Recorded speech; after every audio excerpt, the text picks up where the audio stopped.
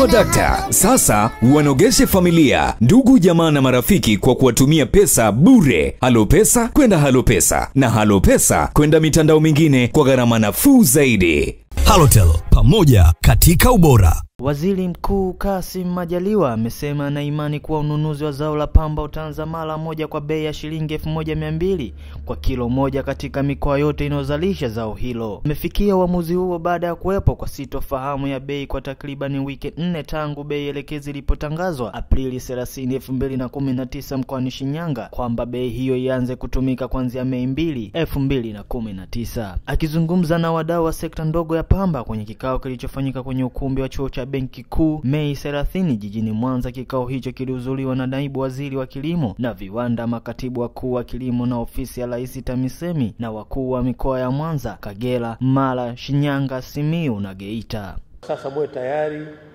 msimu umeshaanza, wanunuzi wako tayari na pamba ni nyingi, kwa matarajio ya serikali ni kuona pamba yote inanunuliwa, na bado tunaamini kwamba wanunuzi wetu mlioko ambao pia mko tayari kununua pamba, tunaamini pamba msimu huu yote kwa kiwango cha tani laki nne na nusu kitanunuliwa. Kwa hiyo kwa kauli hii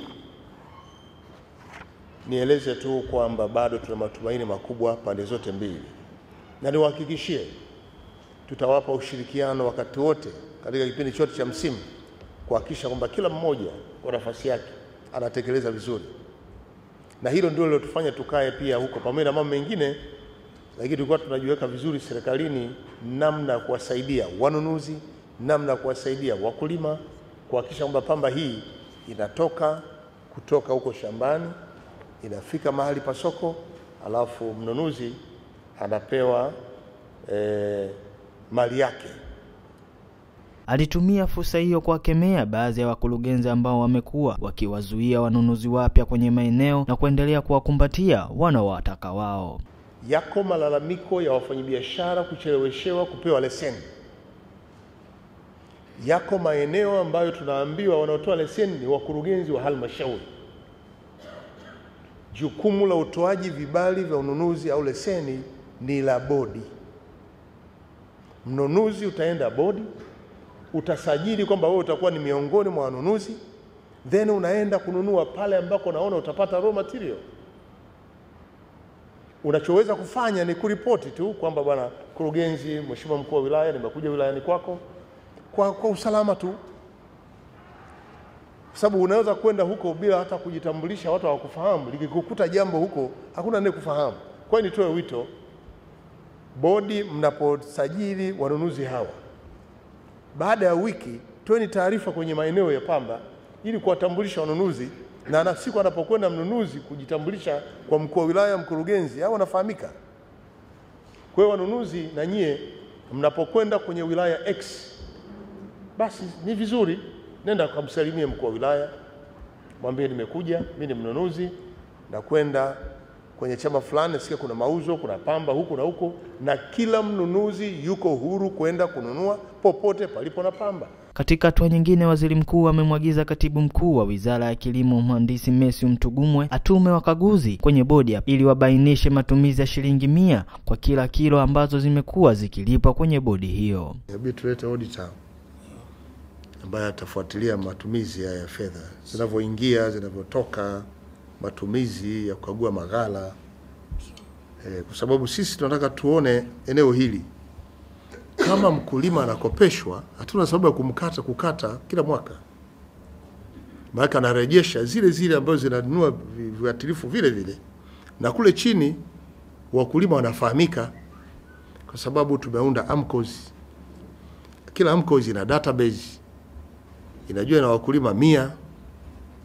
Hawa ndio watakaolipa na ndio watakaohudumiwa tena wale mia, si ndio? Eh.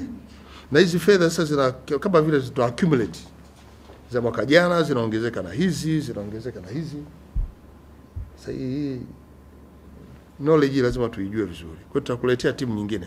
Wewe maliza hiyo, tutaipata hiyo nayo pia itajumuisha pamoja, watafuatilia zote pamoja. Sawa. Sawa.